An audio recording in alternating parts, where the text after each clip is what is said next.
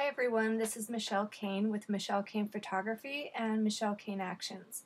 Today's video tutorial will cover how to effectively remove stretch marks from maternity images to create clean, smooth looking skin for those pregnant bellies.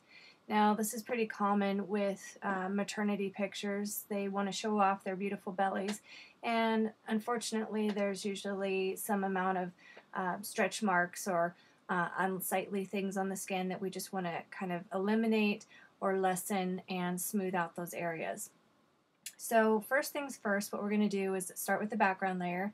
And I always, no matter what I'm doing, work on a duplicated background layer. I hardly will do anything on the actual background layer. So in order to do that, I'm just going to take this background layer in the layers palette and drag it down to the new layer icon and drop it and we get a new background copy. And what we're going to start with is actually going to be the patch tool. Now in CS5 I do actually have to say that I love the spot healing brush tool with the content aware. That new feature has been pretty amazing and it will work great if you're working on images like this where you need to remove um, you know stretch marks and spots and scars and things like that. However, because not everybody is in CS5 and doesn't have content aware, I wanted to show how to remove these stretch marks and spots with uh, tools other than um, the spot healing brush tool without the content aware. The spot healing brush tool on its own without this content aware feature definitely doesn't do um, the, the picture justice. It just doesn't do and create the effects that we want to create. Um, and so we're going to actually be using the healing tool, or I'm sorry, the patch tool and the clone stamp tool today. So right here on this background copy, I'm going to name this one patch tool. So I'm going to do this in two separate layers, the patch tool on one layer and the clone stamping on another. The patch tool will be effective for removing the bigger spots, the bigger lines, um, these purple areas in the skin, uh, and the clone stamp tool is going to be there at a low opacity to kind of blend out the skin, make it look a little bit smoother and creamier. So we'll do them on two separate layers starting with the patch tool. So to get the patch tool we can go over to the toolbar here and in the toolbar we're just going to select the patch tool which is J and you might have to cycle through uh, the J key with the shift key there to get to that if you're going to use your keyboard shortcuts but the healing brush tool, the patch tool, the spot healing all in here. So here's our patch tool. And basically what we're going to be doing is working kind of in smaller sections and then bigger sections. So where I see these bigger, darker lines, I'm just going to, with my mouse, drag a marquee line around that. It'll make a selection, and then basically with that selection made, you just drag it over to some clean skin. Now, of course, you wouldn't want to drag it up to something that didn't match the area that you were trying to clone it to or, or patch it to but we're going to drag it up to some other skin and it's going to just kind of remove some of those darker purple areas. So I'm just basically clicking, dragging and dropping, clicking, dragging and dropping in order to get some of these darker, more profound areas cleaned up.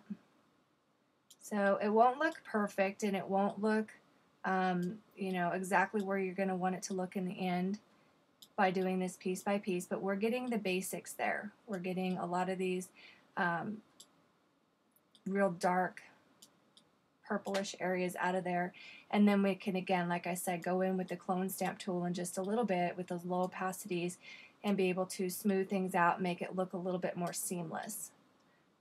So as we go through here, get some of these little dots out of here.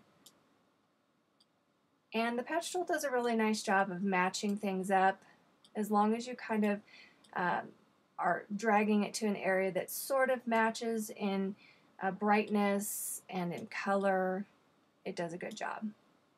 So once we have a lot of those circles and spots uh, out of the way, we can begin to clean it up just a little bit more with the clone stamp tool. So I'm left here with the selection. I'm just going to hit Command or Control D to deselect that. So what we have here, if we click the eyeball off on this patch tool layer, is we go from that to this. Now, of course, again, you can see how the skin doesn't exactly match with the darkness and whatnot, but we're going to kind of clean that up and make it a little bit more seamless. So with this patch tool layer, I'm going to duplicate it. This time I'm just going to hit Command J or Control J on a PC and double click the name to call this a clone tool.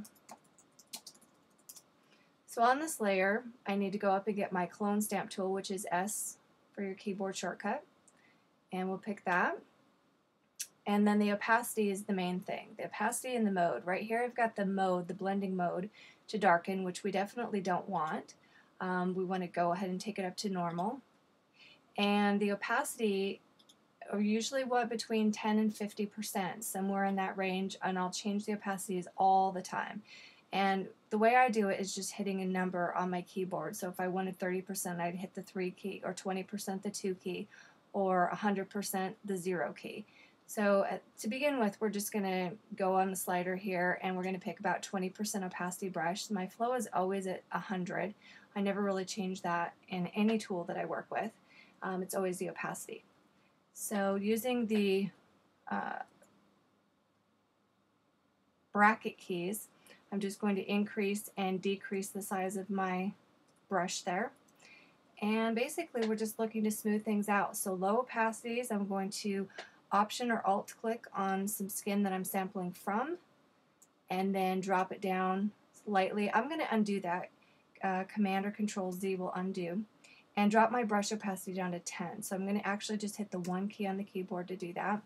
As I just saw, it was a little too intense right at first. So again, option clicking to sample some clean skin and dropping it on some other uh, skin that we want to clone it down on. So basically just looking to smooth things out. I'm constantly resampling. Every time you see that little icon right there pop up, that little target icon, it's just I'm sampling from this area and dragging it to a different area and dropping it with my mouse. So even some of these spots that I didn't get over here, I can come back with and just clone stamp that out. Now we are a little get, bit lighter things are getting brighter over here and not having so much shadow, but we can always remedy that with just a little curves and masking in some darkness if we need to. Um, you know, it's not really a big deal. Our main concern, honestly, is just to get those spots out of there.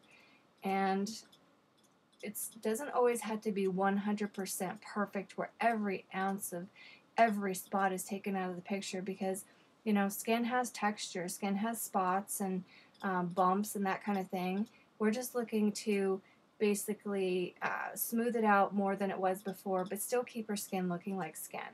We want to come in with something like portraiture or my action called flawless face and smooth it out later, that's definitely an option for us too.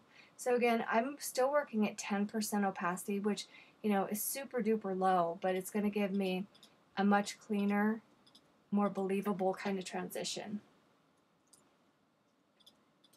So once we have that kind of in there and cleaned up a little bit, I might kind of go into this darker spot down here. Sample, I'm going to hit the 2 key on my keyboard to change my opacity up here to 20%. And I'm going to sample down here and drop it up above. So I'm sampling from some darker skin, dropping it up on this lighter skin where it got a little bit too bright for my taste. That's another way to kind of blend it in, blend the light, blend the dark, blend the shadows. So a lot of that blending can be done just in how we go about clone stamping.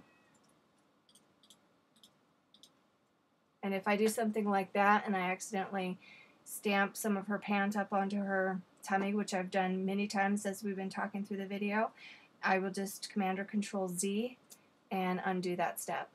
So right now we've gone from this step here and this look here with her belly and all of those um, stretch marks and spots to the patch tool to kind of get out a lot of those major spots, leaving a lot of um, discoloration and just kind of just not very blended looking skin up in her tummy area to the clone stamp tool which definitely came in and smoothed it out. Now again, like I said, if you need to come in and add more shadow, we can simply come up and add a curves adjustment layer. I could click up here in my adjustments for curves or down on this half circle here and we're going to pick a curve adjustment. And with the curves, I'm just simply going to take the center line, pull it down to the lower right hand corner until I start to darken up the picture quite a bit. And I don't want this darkening effect everywhere.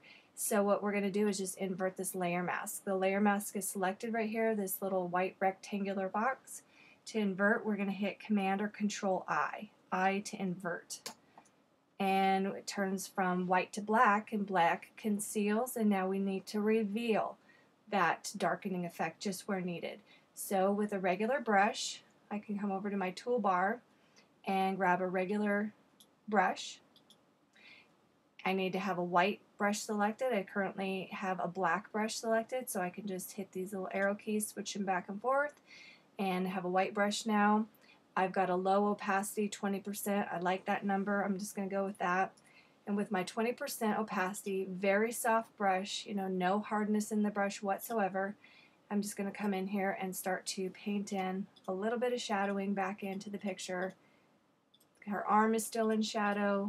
It would make sense for the side of her belly to be in shadow. And I'm even going to paint a little bit on this side, to be honest, just because it was so bright in comparison to the rest of her tummy. Um, so now that'll kind of even that out just a little bit more. And you can see on my layer mask here over in the layers palette that everywhere that it's white, I've painted with the white brush, it's revealing this darkening effect here that I've done with the curves. And everywhere that it's black, it's concealing that darkening effect. If we want to look at that a little bit closer, I can alter option click on the actual layer mask itself and you can see with the brush exactly where I painted and with the black areas is where it's protected from that darkening effect. So let's click this eyeball on and off so we can kind of see the shadowing effect that's happening here. And if I feel like I've gone too far, I could always switch my brush back to the other color, hitting the X key on the keyboard to do that. Now I've got a black brush selected if I went too far, maybe over here on the top of her belly, will paint out some of that darkening effect. And don't forget you can always take your opacity and just pull that down as well if you need to to decrease whatever you've painted on your layer mask or increase it. So a couple options there to kind of fine tune the layer mask painting that you do. So again, back to the beginning um, with just all the stretch marks and spots to the patch tool to kind of get out the major spots and um, lines in her belly, to the clone stamp tool to smooth things out, to the curves adjustment using the layer mask and uh, a white brush there to paint in a little bit of that shadow back into the picture. So now we can go forward with editing the picture, you know, turning it black and white, popping the blue color, um, you know, even running a softening action like flawless face or portraiture, whatever feels necessary to you for your particular maternity pictures, but we've got a nice clean skin to work with. I hope you've enjoyed this tutorial and um, stay tuned, there will be more to come. Uh, for more information about editing, editing with my Hardy Actions, please visit my blog, michellekanephotography.com slash photoblog. Uh, you can search for blueprints, learn how to effectively use the Hardy actions, and don't forget to uh, link over to Facebook and become a fan to stay in the loop about discounts, specials, and promotions that are going on through Michelle Kane Photography. Thanks so much and have a blessed day.